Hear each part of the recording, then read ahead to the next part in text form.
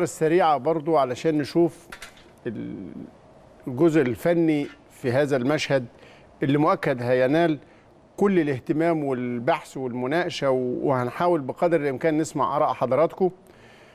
كابتن سيد عبد الحفيظ مدير الكورة قال إنه بعد الفوز الكبير على منانا الجابوني مفيش مكافأة خاصة بهذه المباراة لكنه لما سئل المكافأة إيه بعد هذا الأداء قال لأ اللائحة على الدور. فإن شاء الله الأهلي مباراة العودة اللي هتكون في الجابون يوم 17 مارس يتخطاها إن شاء الله ويكمل الأهلي التأهل لدور المجموعات ووقتها بيتم صرف مكافأة التأهل لدور المجموعات.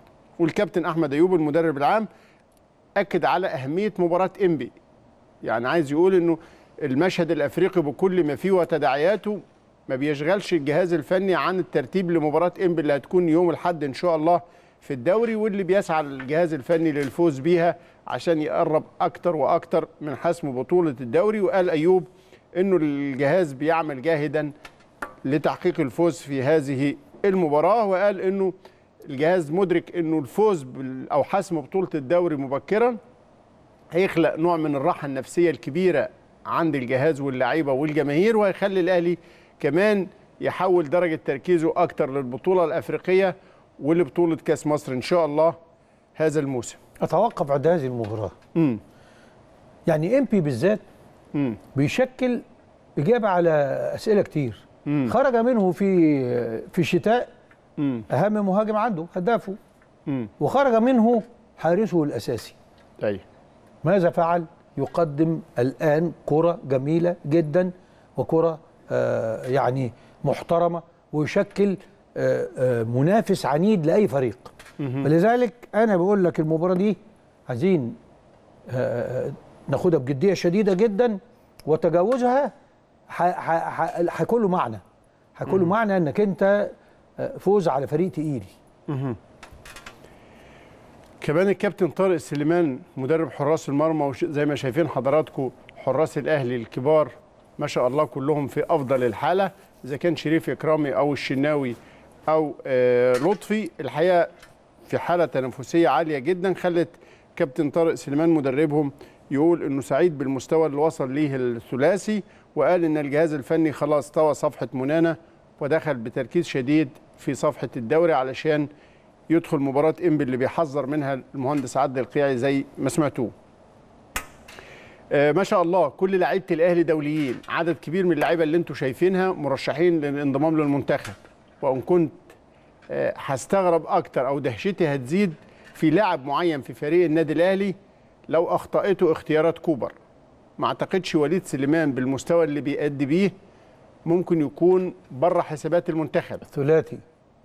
وليد السوليه عاشور لا ما ينفعش يبقوا بره عاشور كان في المعسكر الأخير والسوليه تم اختياره بتكلم على اللي جاي بقى لكنه اللي جاي أعتقد فعلا يحتاجوا إن هم يكونوا في دائرة اهتمام المنتخب وإلا ما فيش تفسير مقنع الحقيقة لو استمر إبعاد آه وليد سليمان. منتخب المغرب استدعى وليد أزارو وده كان حاجة آه رائعة لوليد أزارو المهاجم الشاب اللي مستواه مع النادي الأهلي تطور وارتفع بشكل كبير هداف الدوري المصري بتفوق بارز جدا. آه، اختياره جه بعد ما تابع الجهاز الفني المغربي آه، أداء وليد مع النادي الأهلي وتصدره لهداف الدوري المصري ب 17 هدف. أعتقد اختيار مهم جدا بيكمل بيه الأهلي الدوليين اللي موجودين معاه. يعني هيبقى في كأس العالم عدد لا بأس به من لعيبة الأهلي. إن شاء الله وليد أزارو يكمل مع المنتخب المغربي. أيضا علي معلول الجناح الأيسر للمنتخب التونسي. ثم جونيور أجاييه.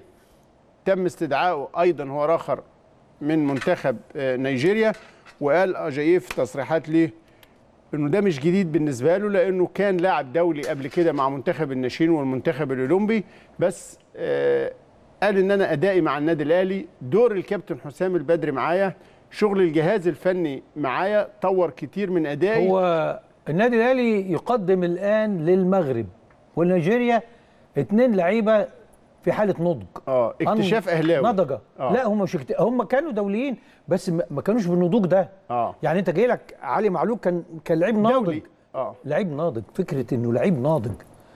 آه أنت طورت من أداء الاثنين دول قوي.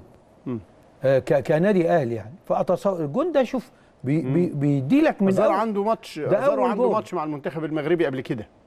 أزارو عنده ماتش مع المنتخب المغربي قبل كده آه. أيوه طبعا. امم بس في فكرة إنك أنت تروح لهم بقى كلاعب ناضج وهداف. ممكن يعتمد عليه إنه يبقى أساسي. هنا دي الفكرة. امم أجاييه قال كمان إنه آه، أكتر حاجة فرحته في استدعاء منتخب بلاده ليه رد فعل الجهاز الفني بتاع الأهلي وزمايله. ودي روح الفرقة وده أجواء وشخصية الأهلي. قال إن أنا كنت سعيد جدا إن أنا ألاقي زمايلي والجهاز الفني كلهم فرحانين لي وكلهم حريصين إن هم يهنوني وكلهم آه عبروا عن سعادتهم بهذا الاختيار. قال انه مستواه تطور بشكل كبير جدا بفعل أو بدور الجهاز الفني معاه وقال إنه آه كمان مشاعر الود اللي بتحيطه من قبل جماهير الأهلي في كل مكان يتواجد فيه في الشارع أو في أي مكان حاسس بالسعادة الكبيرة جدا لتفاعل جماهير الأهلي معاه وعلاقة الود اللي بتربطه بيهم وقال انه كل هذه الأجواء كفيلة بإذن الله إن هي تسهم في فوز الأهلي بالبطولات اللي بيشارك بيها وأكد على بالنسبة له هو شخصيا رغبته أو سعادته أو سعيه أو حلمه بالفوز بدوري أبطال أفريقيا والسفر مع الأهلي لبطولة العالم.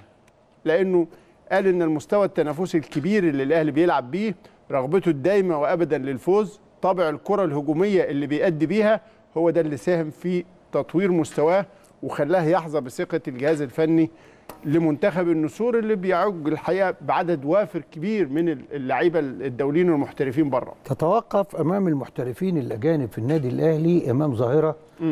آه، أعتقد إنها فضلت تفرز وصلتك وصلتك آه، لأفضل الحلول في النادي الأهلي. السمات الشخصية للعيبة الأربعة المتواجدين حاليا في النادي الأهلي. كلهم عاقلين كلهم ناضجين كلهم عندهم حالة سلام كلهم ممتنين لوجودهم في النادي الأهلي. ومهلم بصديقك مهتم اختياره ومهلين ما أنا بقول لك الأربعة. آه. لسه مهلين يعني آخرهم ما اداش أمارة قوي. السنة الجاية أنا أتوقع مهلين هيقدم آه، مستوى مختلف. امم إنما اللي أنا عايز أقوله إن الشخصيات اللعيبة دي هي بتاعت الأهلي. أيوه. ت- توصل النادي الأهلي إيه ينطر لك واحد زي كولوبالي.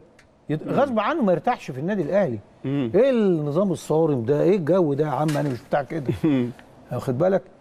رغم إن إحنا كنا فرحانين بيه.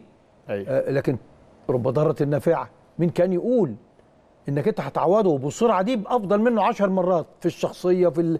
يعني أعتقد إن. اندماج أزارو مع لعيبة الأهلي يفوق كثيرا اندماج آه كوليبالي. النهارده عودة مروان محسن. انت أنت بسم الله ما شاء الله. لا فريق الأهلي كله دوليين دلوقتي. أيوه. ها؟ حسام عاشور بقى مسمار الوسط اشتكى من آلام في آه، شديدة في كتفه كان أصيب بيها أو خد الكدمة في المباراة الأخيرة آه، أمام منانا الجابوني. زادت